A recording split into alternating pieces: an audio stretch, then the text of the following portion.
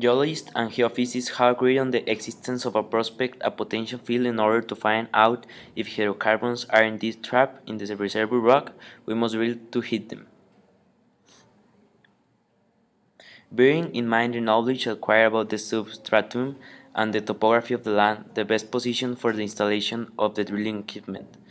Generally, it is vertically above the point of maximum thickness of the ge geological layer suspected containing hydrocarbons. The drillers then make a hole in condition.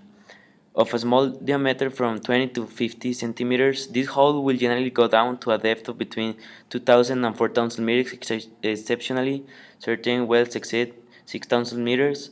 One of them has been ex exceed 11,000 meters. Certain fields can be bored at the depth equivalent on the height of 12 Eiffel Towers.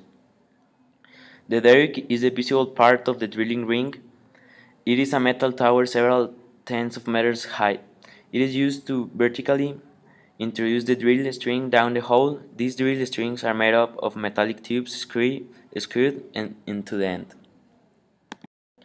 They transmit a rotating movement, rotary drilling, to the drilling tool and help circulate a liquid called mud down to the bottom of the well.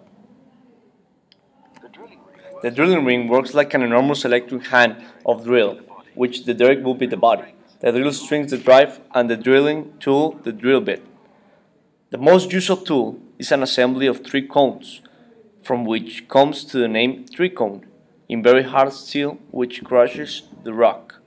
Times when the rock being drilled is very resist resistant, a single block tool encrusted with a diamond is used. This wears down the rock by ab abrasion. Through the drill pipes, at the extremity of which the drill bit rotates, special mud is injected which the mud engineer prepares and controls. This mud cools the drill bit and consolidates the sides of the borehole. Moreover, it avoids a gushing of oil, gas or water from the layer being drilled by equilibrating the pressure. Finally, the mud cleans the bottom of the well. As it makes its way along the pipes, it carries the rock fragments cuttings to the surface.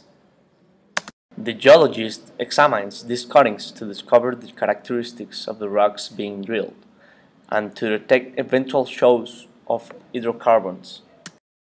The cuttings, fragments of rock crushed by the drill bit, are brought back up to the surface by the mud to obtain information on the characteristics of the rock being drilled.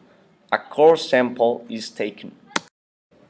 This core supplies data on the nature of the rock, the inclination of the layers, the structure, primarily porosity, fluid content, and the fossil present.